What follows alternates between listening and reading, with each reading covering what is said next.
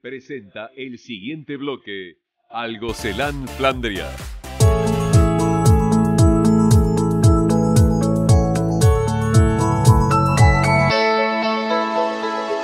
Bueno, hola a todos y a todas. Soy Julieta Lustós, subsecretaria de Industria del Ministerio de Desarrollo Productivo. Es un placer estar acá con ustedes eh, en esta nueva edición de Protextil. Eh, la verdad que con esta, en esta edición en particular, con grandes cambios que estamos viendo, eh, no solo porque hoy estamos ocupando otro lugar dentro de, de, este acompañamiento que le estamos haciendo en forma permanente al sector, sino que también en este marco de una nueva normalidad que nos llama a contactarnos desde la virtualidad y también, y más en particular, que es lo que más quisiera resaltar, en un nuevo contexto que está atravesando la industria en particular. Estamos ya frente eh, después de, haber atravesado meses de caída del nivel de actividad, de pérdida de participación de la industria dentro del PBI global, de destrucción de puestos de trabajo industriales, estamos viendo, eh, aún con, con los efectos de la pandemia, una recuperación del sector industrial y en particular de la industria textil y de confecciones eh, donde vemos claramente que ya están en niveles pre-pandemia muchas de las empresas eh, de nuestro país y donde también estamos escuchando y estamos siendo muy felices de poder acompañar a muchas industrias en sus diferentes proyectos de inversión, donde el sector ya está anunciando más de 350 millones de dólares para el 2020 y el 2021. Y en este proceso de de acompañar a la industria es que estamos llevando a cabo desde la Subsecretaría de Industria muchos eh, programas y acciones para, acompañar a la industria en general y en forma particular al sector textil y de confecciones. Estamos con un fuerte programa de desarrollo de parques industriales. Entendemos que es muy importante avanzar hacia toda la federalización de la industria de nuestro país, trabajando con todas las provincias para poder ir priorizando aquellos parques, eh, aquellos lugares en donde tenemos que apoyar el desarrollo de la industria nacional.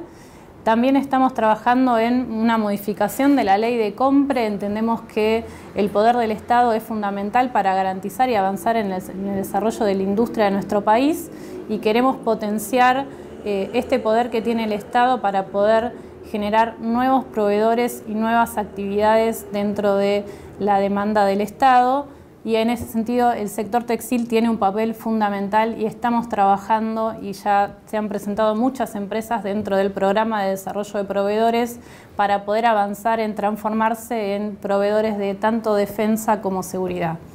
En este acompañamiento que también lo tuvimos durante la pandemia, donde estuvimos acompañando a las empresas que quisieron reconvertir parte de su producción hacia insumos sanitarios, eh, tratando que toda la cadena tuviera abastecimiento permanente de los insumos necesarios para poder hacer esto, acompañándolos también con diferentes herramientas eh, vinculadas a la nueva normalidad, como desarrollar nuevos canales de comercialización, marketplace y demás.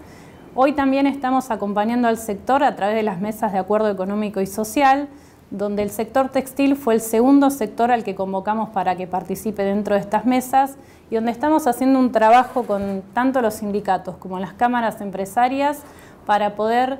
eh, definir la agenda de trabajo de futuro del año del próximo año y, resolver no solo las cuestiones este, de coyuntura, sino las cuestiones estructurales de la cadena y donde gratamente en esas mesas ya identificamos que el principal eh, la principal demanda de los sectores es el financiamiento. Es decir, estamos hablando de que hace un año el sector estaba en una agenda de destrucción de puestos de trabajo, de, cierre de empresas, de una visión totalmente negativa del futuro del sector. Hoy tenemos en esas mesas la posibilidad de poder eh, recibir de los actores la demanda principalmente de necesidad de financiamiento industrial y de ampliación de capacidad productiva, lo que nos pone muy contentos porque nos permite trabajar en una agenda de desarrollo mucho más grande, eh, vinculada a la capacitación, vinculada al desarrollo de Industria 4.0,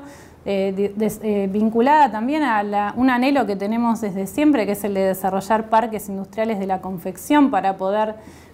solucionar este cuello de botella que tenemos en ese eslabón. Eh, y que nos permite trabajar junto con el Ministerio de Trabajo, los sindicatos eh, y todos los actores de la cadena en poder ir resolviendo cuestiones eh, también asociadas a la mejora de la calidad de los productos, a la internacionalización del sector.